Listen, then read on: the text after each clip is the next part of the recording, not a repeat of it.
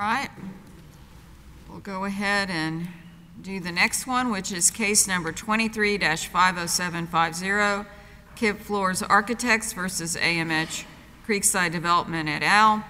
And we will begin, y'all ready? Okay, we'll begin with Louis Bonham for Kipp Flores. Good morning, Your Honor. If it please the court.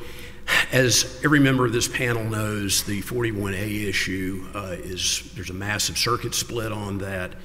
Uh, you've got at least six circuits saying that you can, in fact, dismiss claims, if done with prejudice, under 41A2. The 11th Circuit has, of course, gone the other way. To the best of my research, the Fifth Circuit has never had a case involving a 41A2 dismissal with prejudice. There's not been a holding on that. Now, if this court extends the rule in Exxon, which says a voluntary dismissal without prejudice uh, cannot be done under Rule 41. If it extends that to A2, then yes, we have a jurisdictional issue here because the claims, as the court said in Exxon, as it reiterated in Williams, are still alive in district court. However, I think there's a way out and it is suggested in footnote 10 of Exxon.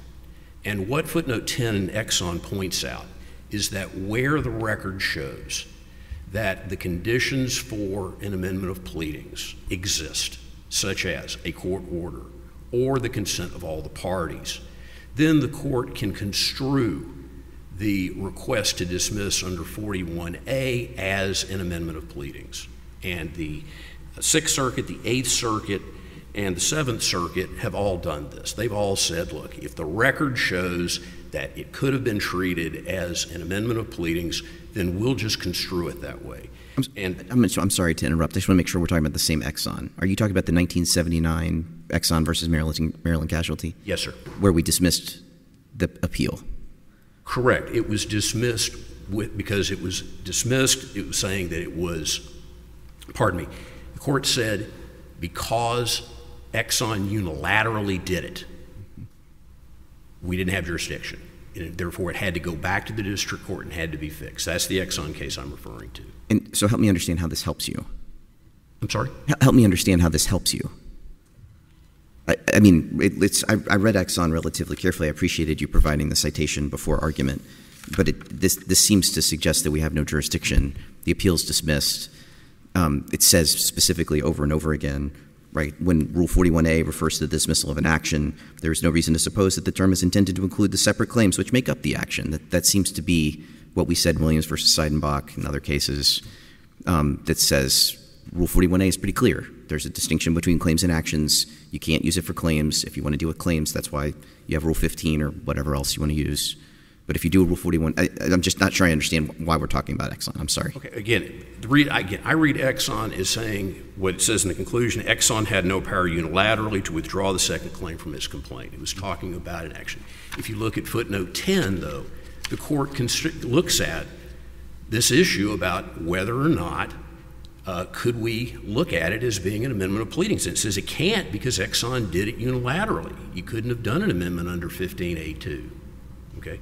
But again, if the court if the court's ruling is that either Exxon already applies to everything or that we're going to extend it to this, then yes, we have an issue. However, my point though is that where you have the conditions which exist in this case to allow an amendment of pleadings, you can just simply construe it rather than have us to go back to the district court and have him just simply say, okay, instead of it doing under 41A1, I'm doing it, I'm construing it this way.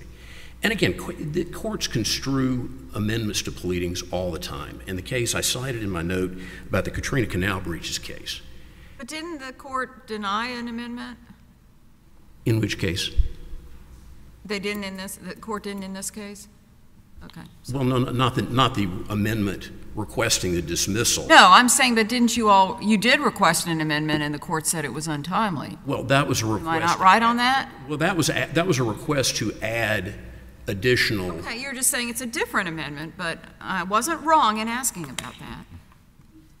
No, the court, that's correct. The court did, he did deny, we, we requested. But you think the court would have allowed an amendment to say I'm not adding, I'm subtracting.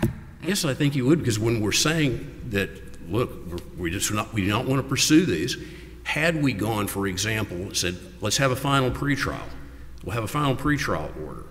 In the final pretrial order, we drop the claims. We haven't amended our pleadings, but under the Katrina Canal breaches case, this court says that a pretrial order supersedes the pleadings. So I believe that. And again, if you're looking at saying the court would not necessarily grant it, we have the other aspect of, excuse me, of A2, and that is that all the parties have stipulated to it. And so we have the right to amend to drop it because we've got the consent of all the parties. So we've kind of got belt and suspenders on this. Any event, I think that the court can go, it, it does not have to send it back to the district court. If, it ha- if we have to, we have to. Now, as to the second jurisdictional issue that was raised in the court's letter about whether if a plaintiff, you know, enunciates dismissal, even of part of a case, that automatically suicides the entire case. That I don't believe is supported by this court's precedent. Exxon and in Williams, they came back and said, no, if you've done it improperly, it's simply invalid. The claims are still alive. That's what the 11th Circuit has done in the cases that I've cited to you. They've said, you can't do it this way. The claims are still alive. You have to go down. So you're saying we can't throw the case out. We either decide it or we send it back to the district court. That That's your position. that is my position, Your Honor. And again, the other case that I've cited the court to is the Supreme Court case of U.S. versus Procter and Gamble. Uh, it's an older case, but it directly addresses the issue, the idea that in that case, the, the uh, district court ruled against the government. The government said it didn't want to comply with the uh, court's ruling, and so therefore just to dismiss the case so that it could take up an appeal. When it got up to the Supreme Court, Procter and Gamble argued, "Hey, the government dismissed it under the common law rule. We can't, uh, you can't hear it. It suicided the entire case." Supreme Court said no. They were making it very clear they were doing this to facilitate an appeal to this court. And the order in this case, you know, nothing herein shall preclude KFA from appealing the dismissal of the previous dismissed claims or any previous ruling of the court. It was very clear that that's what we were doing. Again, if we're wrong on the 41A issue, I think both Exxon and Williams say that we, the claims are still alive and therefore we have to go back and fix it. Okay. As to the merits uh, on the 120A issue, I'm going to have to obviously truncate. Um, remember that this is a 12B6 dismissal. And frankly, what the, what the district court did, they did not take our pleadings as written. The court made a lot of assumptions, it made a lot of conclusions that are not there. Remember that the images in question were created not by looking at a building. They were created from Kipp Flores's computer files prior to construction. So when these images were created, there is no way that 120A applied. When they were first distributed, there's no way 120A applied. And even the district court recognized that in denying uh, AHV's motion for summary judgment, saying some of this was obviously pre construction, 120A doesn't help you. Where the court erred in dismissing our claims against AMH Creekside is because what the court said was, well, Kipp pleadings say that they only used them after April 2nd, 2019. That's not what the pleading says. And if you look at it's in the record on appeal at 191, what Kipp Flores pleaded was that by no later than April 2nd, 2019, AMH Creekside knew the terms of the contract. Now, that goes to our scienter point on DMCA 1202, but it's not a temporal limitation on our claims because when you say by no later than, that implies that it could have also been before. It's saying no later than. But the district court just simply took that the wrong way. That by itself justifies reversal because, at the very least, even if the district court's right on 120A, we still have claims. Now, was he right on 120A? I don't believe so. The main one I would ask the court to look at is the Design Works opinion out of the Eighth Circuit. It is a masterful piece of scholarship. I can't improve on it. All I can say is whether you look at it from a textualist standpoint, whether you use the canons of, of statutory construction that the Supreme Court has said that they have to do, it's discussed masterfully in the Design Works opinion. The district court never even engaged any of those. He just simply said, I don't agree with it. I'm not bound by it. I'm following it. I don't believe this And it's your position that if we went the other way, we would be creating a circuit split? That there's not already a circuit split? There is not already a, this, Creating one. That is your position? that is my position. There is not, there, to my knowledge, there is no Fifth Circuit law on 120A on this, or certainly not 120A applying this. So if you go the other way, you do create a circuit split. And frankly, I don't think any other circuit has gone that, o- gone the other way on it either. Additionally, the district court, uh, we pointed out that we had pleaded for one of the works in question. We do have a PGS Works uh, copyright because when you create an architectural work, you get two copyrights one in the architectural work, one in the PGS, the pictorial graphical sculptural work that you have fixed it in. We pled that on one of them. We subsequently got registration on the other two. That's what we tried to add, and the district court said no. But we still have that one in there. I raised this with the district court, and what his response to it was, well, I'm just going to apply 120A to PGS works. It does not work. The statute says it's for architectural works. You've got at least three of the circuits, the second, the 11th, and the federal, say specifically it doesn't apply. Uh, the district court cases we've cited, I would especially ask the court to look at the Tiffany case, explains exactly the situation, why you can't do it. But there's another reason here. If this court extends 120A to PGS works, you are going to instantly destroy the portfolios of lots of artists. For example, if you are an architectural photographer and you make your living taking pictures of houses or buildings and licensing them to people, under the district court's ruling, 120A says because it is a pictorial representation of a constructed building, it's free for the taking. I think that is a- an absurd result. It's certainly not justified by the, his, by the statute, the legislative history, or the case law. Okay, as to, If you were writing the opinion, how would you write about floor plans? I would say the Eighth Circuit got it right. I would say the Eighth Circuit, that floor plans are not covered by 120A.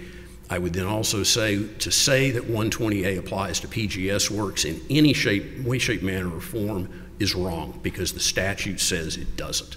Okay. On the DMCA 1202 issue, Again, there is a, a there's a split in the case law on this. This court has not ruled on it in the Loeb case. The court recognized the split and said it wasn't going to rule on it in that case. The ADR International case is a good one to explain all this. If the court wants to get to, into that, it can, but it doesn't have to in this case. And that's because the parties stipulated to what the law would be in their contractual relationship. And again, if you look at the contract at, it's at record on appeal at 225226, it's there, it's in bold. This wasn't fine print, this wasn't any sort of laying behind the There law. There seems to be a fight about contracting, which is kind of interesting to me. As I understand from you, you think contracting is very broad. Now, of course, you can't contract for something illegal. You cannot contract against the law, but you can set up otherwise pretty much anything you want. Well, what you can, for example, you can say, choice of law will be Texas. Choice of law will be California. Uh, venue will be in the Western District of Texas. Uh, but here, what you're saying, Right, but you can't enter into a contract to sell heroin. of course not. But there's but there's nothing The illegal point is, here. there's some things you can't do, but I think your position is setting those outside, Of course. Even if the law doesn't cover something or doesn't address something or whatever, you all can write a contract that sort of creates your law. Is Well, that what you're saying? No, what I'm saying is where there where the law is unsettled, and here it is. There there are two lines of cases where they're unsettled. The parties can say we're going to agree that this one applies, and that's what happened here. If you get into the mer- the actual split on this, I have very little time, so I'll just say it this way. Look at the definition of copy in the Copyright Act because none of the cases that have discussed this original copy or non literal copy exception to DMCA 1202, none of them looked at the definition of copy in the Copyright Act. When you apply the statutory definition of copy, those cases fall away because not, the definition does not include, it does not limit it to original copies or literal copies or whatever else. Uh, again, I'm out of time, just about out of time. The remainder of the points on especially the 1202 issue are covered extensively in our brief, and I would. Well, and you've saved time for rebuttal. Yes. Okay, so next we'll hear from James Ruiz for the American Housing Ventures. Good morning, Your Honors. Uh, James Ruiz for the appellee with Ellen Eisenhower American Housing Ventures LLC. Um, and we are basically uh, here on just two claims. Um, not the direct infringement claim, because that was one, the one that was voluntarily dismissed against American Housing Ventures. So that's not subject to review today. We're here on the DMCA claim and on the contributory infringement claim. And to um, basically, the whole premise of the, the plaintiff's claim is that American Housing Ventures and American Homes for Rent had published copies of architectural works that did not have the required CMI on it. And these are architectural works that were created by third parties, not by Kipp Flores. Um, and, and it's important to remember that every party in this case had a license agreement that covered the activities here. And the allegation that the plaintiff is making, the whole premise of their case is that by distributing, publishing the AGS graphics drawings and the Blue Ant renderings without the CMI on it, that violated the license agreements and basically voided them and then were subject to copyright infringement. That's really the essence of their complaint. And the, they misread the agreement to, to, to put a burden on American Housing Ventures to have put the CMI on for them. And, and the contract doesn't, doesn't say that at all.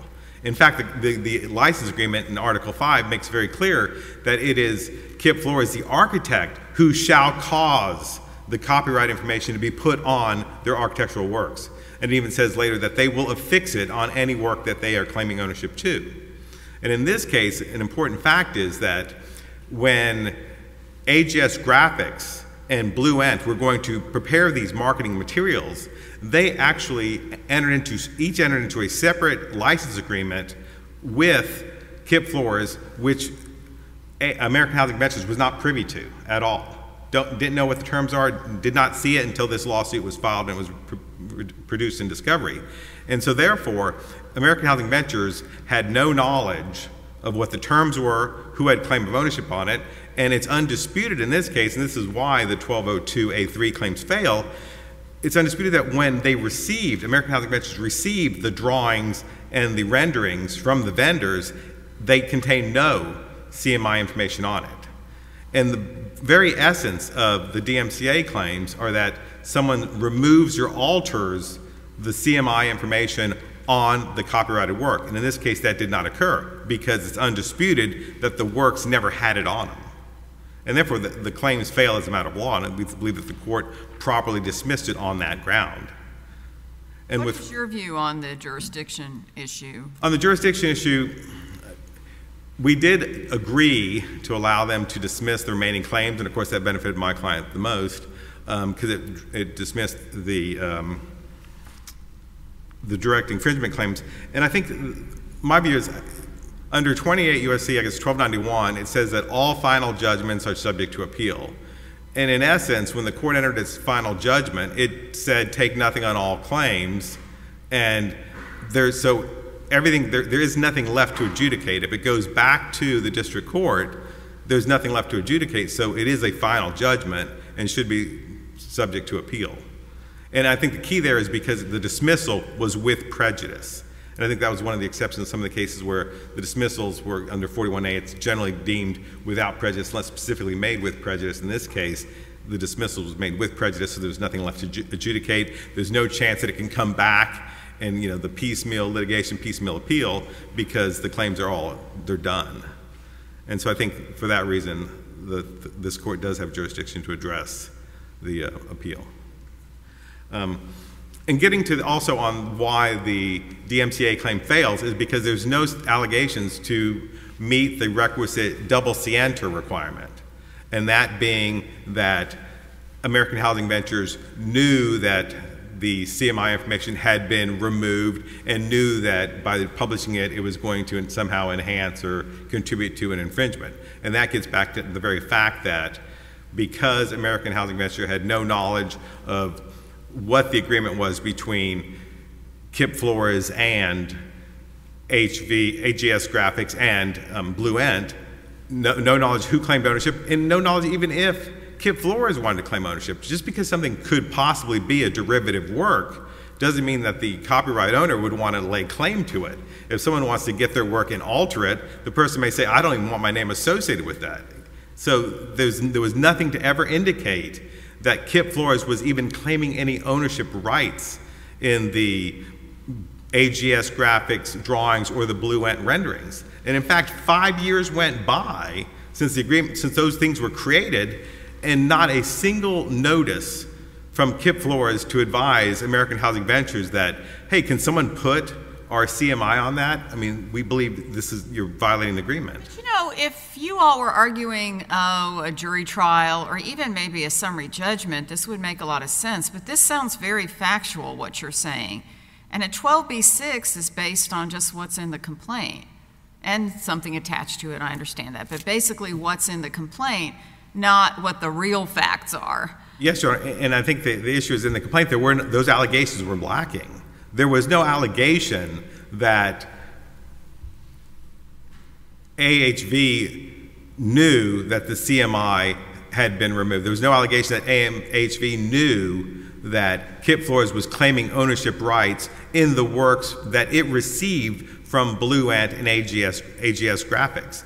And the reason for that, Your Honor, is because, once again, the license agreement always speaks to when, what Kipp Flores provides to American Housing Ventures directly.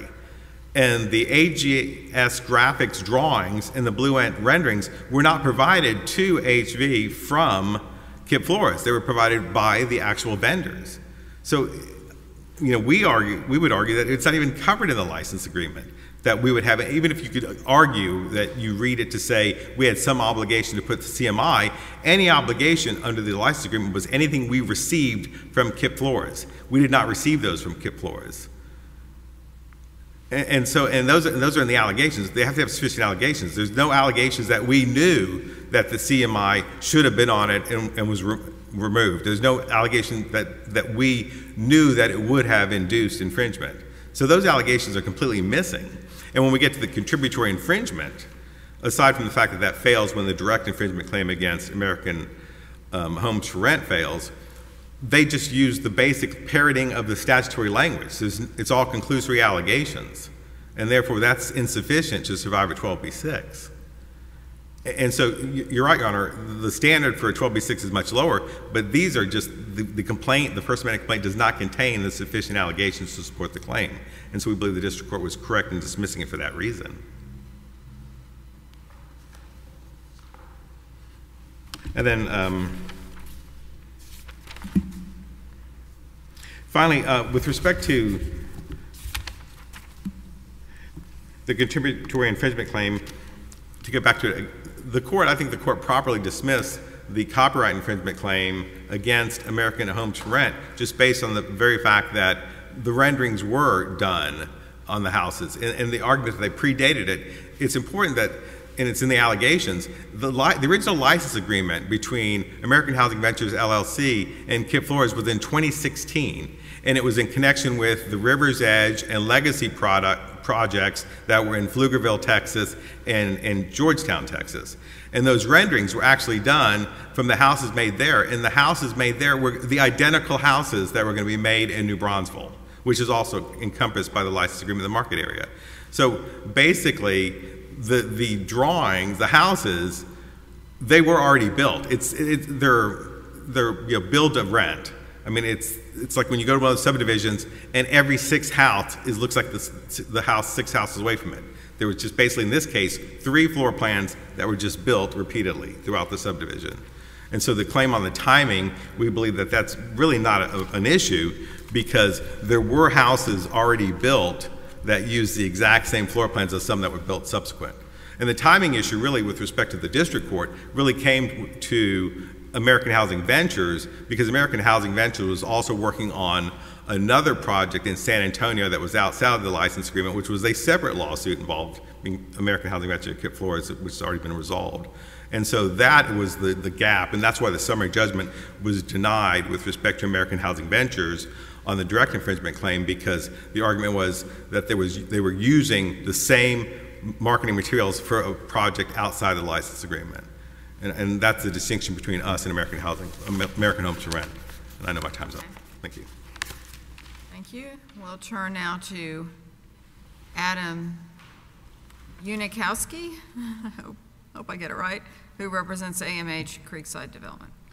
Thank you, Your Honors. Uh, may it please the Court. Uh, Adam Unikowski on behalf of the Creekside appellees. Uh, the district court correctly dismissed Kipp Flores' claim for direct copyright infringement, as well as Kipp Flores' claim under the DMCA. The judgment below should therefore be affirmed. I'm happy to begin with the jurisdictional issue that the court raised before oral argument. Um, I do think there's a genuinely final judgment here. All claims were dismissed with prejudice. The case therefore dismisses differs, excuse me, from claims like from cases like Ryan, where uh, a claim was dismissed without prejudice, so it was essentially an interlocutory appeal. Um, to answer the panel's questions, the first question was about the propriety of the district court's order under Rule 41A2. I have two points about that. One is I think the order was legal, and second, even if it was illegal, I don't think it would withdraw this court's appellate jurisdiction. So, on the first point of the legality of the order, I'd say two things. First of all, this court has definitely said that Rule 41A2 can't be used to dismiss individual claims. That's clear from this court's binding precedent. Uh, in terms of defending the legality of the order, I have two theories I'd offer to the court. One is that if you kind of construe this order generously, maybe bend over backwards to you know to the district court, you can construe the motion as requesting dismissal of the whole action. It's true that says that some claims are already dismissed, and so it's only asking to dismiss the extant claims, but the actual relief requested by the plaintiff was a single final judgment dismissing all claims with prejudice. So arguably that's a form of a request of, to dismiss the entire action, which would be legal under under 41A2. Or the other theory, potentially uh, justifying the order, is that arguably it was under the inherent authority of the court. Like Rule 41A2 is permissive. It says a plaintiff may seek dismissal of the action. It doesn't actually say you can't dismiss uh, an individual claim. It's just completely silent on that issue. Counsel, can I ask you about the first your first yes. theory, which is that you know because I I'm sympathetic to this one, which is that, well, if you you read this motion, it sure looks like it's a motion for a dismissal of action, so that would fix the 41 problem. But doesn't it create a second problem, which is that 41A dismissals of the entire action aren't appealable because the plaintiff it, it's an adversity problem, right? It's like if you if the plaintiff comes in and says, "I'm done, please dismiss the action, the whole action." Well, usually we've said that's not appealable. The only exceptions are times where there's some thing attached to the dismissal such that it would you know have some condition or some future effect or something that you know makes it appealable somehow and I'm just not sure I understand how, how it would. It's like it fixes one problem, but then solve, it creates a second one. Yeah, I'm, I'm sensitive to that point, and it's true. So this court's cases do say it's presumptively non-appealable, although, as you say, the rebuttal to the presumption is when there's something attached to it, and that's completely different from the facts of this case. Mm-hmm. But you know, I, I think just looking at what happened, there just is adversity in the sense that the district court's order actually does say that the plaintiff is still challenging the dismissal of certain claims. So, you know, I, I, think the ordinary presumption that the plaintiff got what he wanted is probably rebutted on the specific record of this case when both the plaintiff is saying and the district court is saying that the plaintiff still opposes the dismissal of certain claims. That's, that's my best answer to the question. It's just different from the cases in the past in which the plaintiff really did want all of his claims to be dismissed. I, I, I want to be sensitive to your time, and I, hope you'll have as much time as, as yes. you, you need to make your other points. But I just, I'm curious curious about this question. If, if we disagree that there's on, on, this jurisdiction thing and think actually this is a problem, and we dismiss this appeal, what is your view of what would happen in the district court? Would there be like a would it be Rule 60 kind of like relief from judgment kind of thing, or what would be the deal? Think it would depend on exactly how the court wrote its order. Like one way the court could write the order is to say that like the Rule 41 uh, eight or the motion. It doesn't actually cite Rule 41, but anyway, the order the motion never happened at all. It's as if it didn't exist, and we'll just sort of move to the state of the world before that motion was filed. If the court writes the order its decision that way, then then no, it wouldn't be Rule 60. There just wouldn't be a final judgment at all. I think that's actually wrong. Like the motion happened. You can't rewind the past. I mean, there's a difference between an incorrect judgment and a non-judgment. Like district courts make mistakes all the time. It doesn't mean it's not a final judgment. It just that's why this court exists. So I do think that there is a final judgment that can, you know it doesn't not exist. So I think it would I think it would have to be some kind of Rule 60 motion which would be litigated if the court were to say that there wasn't uh, a, a, that there was a mistake made. I just want to add one more point, and then I'll move to the merits. I, arguably, the court's inherent authority uh, permitted this. Like Rule 41b permits the defendant to move to dismiss individual claims for lack of prosecution. There's also some Supreme Court authority. There's a case called Link versus Wabash that says that that's not exclusive. Like the district court can sua sponte dismiss for lack of prosecution. So under its inherent authority. So arguably, there's an inherent authority that Rule 41 doesn't withdraw. To, to, that if the plaintiff says, "Hey, I'm not interested in prosecuting these claims," the court can say, "Fine, they go away." I, I don't read 41a as necessarily withdrawing that authority, even if it doesn't actually confer it. Okay. I'm, unless there's any other questions about jurisdiction, I have only a couple of minutes to address the merits, so if I can move on to that. Um, so we agree with the district court's disposition of all of the claims in this case. What's your best argument on a 12b6? I mean, because again, so the, the briefs are very factual, and I appreciate that, but we're at a 12b6, so please give me your best 12b6 argument. Sure. So I'll begin with direct copyright infringement and then turn to the DMCA.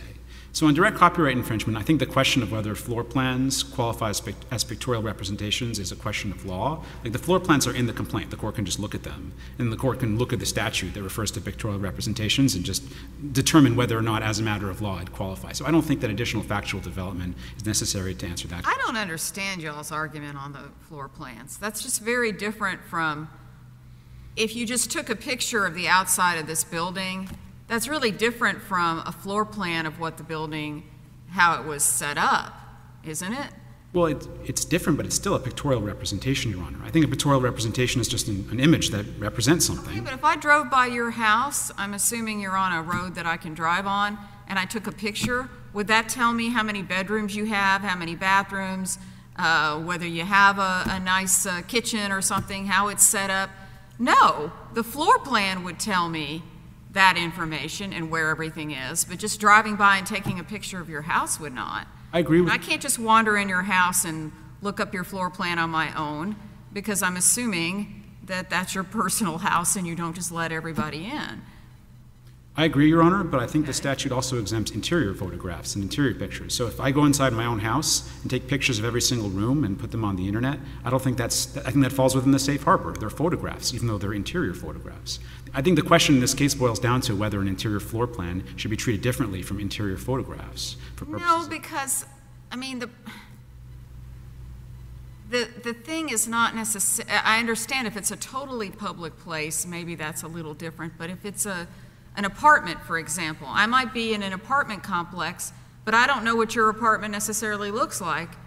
I just know mine. And so the notion that anybody can, that it's just become something you can put online, I, I don't understand that. I mean, that, that's not the same thing as being able to drive by a house and take a picture of your house. So having been able to put that online, well, then uh, that's not an issue anymore. So I think the exception is a little broader than that. The exception does apply. So let me just, I have the, the statute here. I can just read it to the court and explain how we're interpreting it.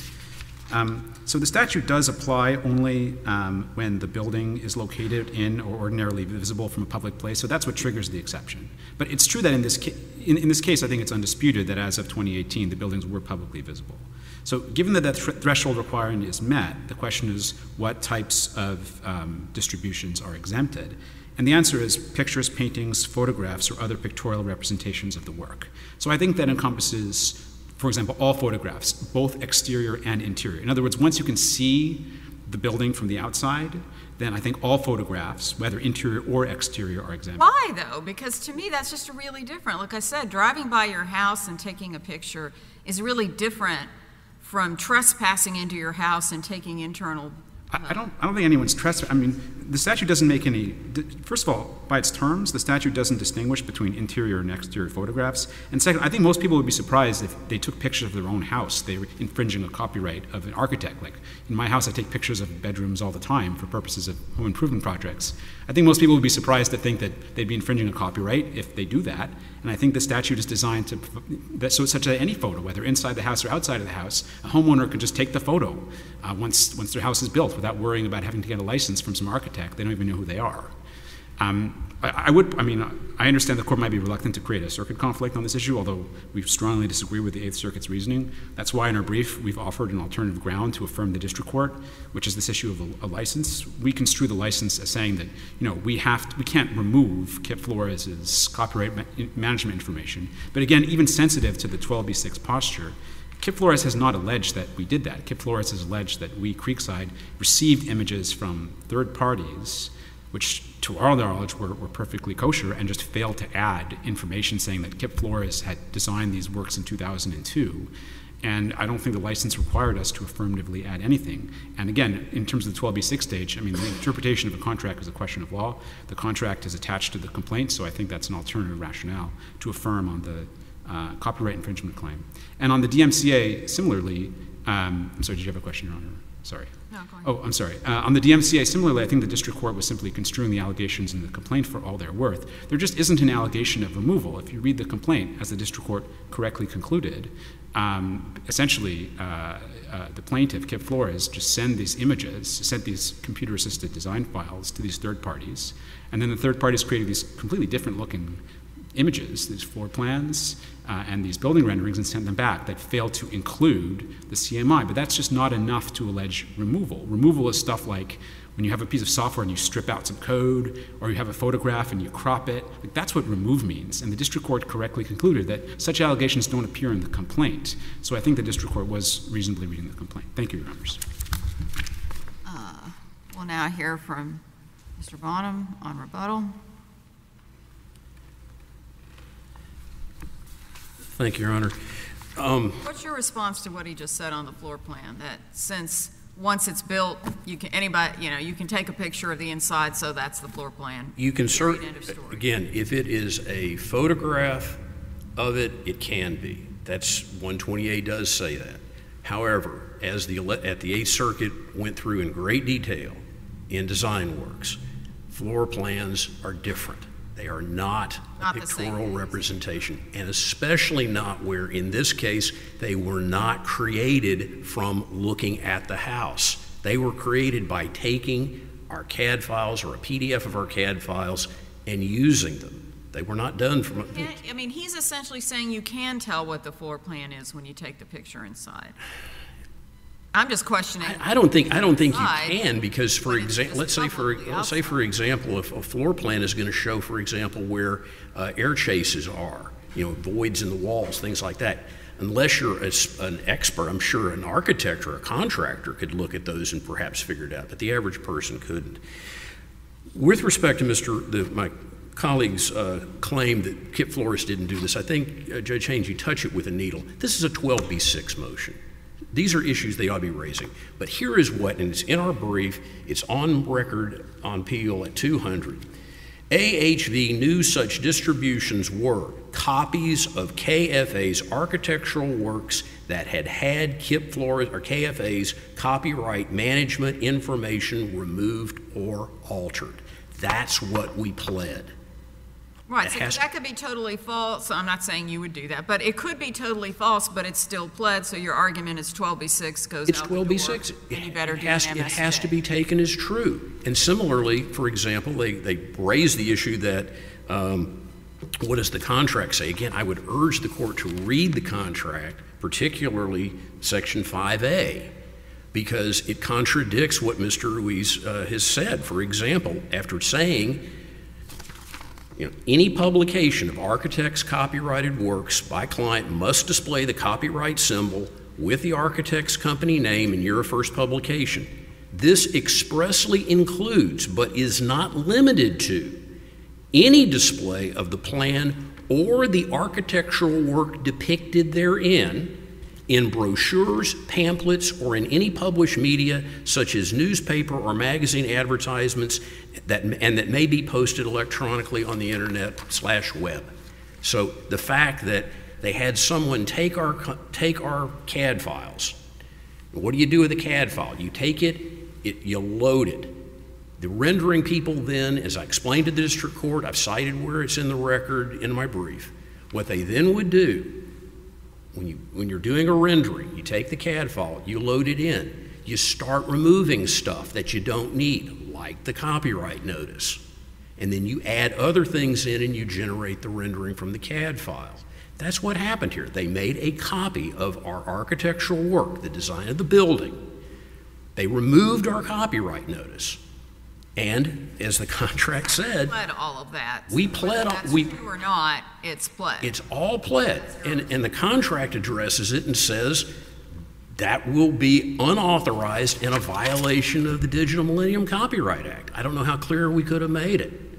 At any event, on, with respect to the privacy issue the court raises, I believe this is addressed, uh, or at least a lot relied on in the amicus brief that was filed on behalf.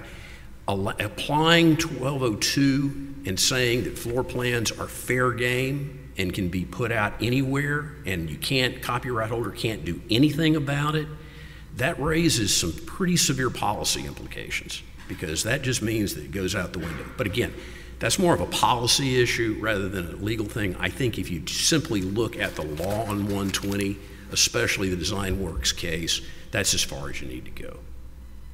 All right. If there are other questions for the court, I'm happy to answer them. Otherwise, I'll tend to the remainder of my time back. Okay, thank you. This case is now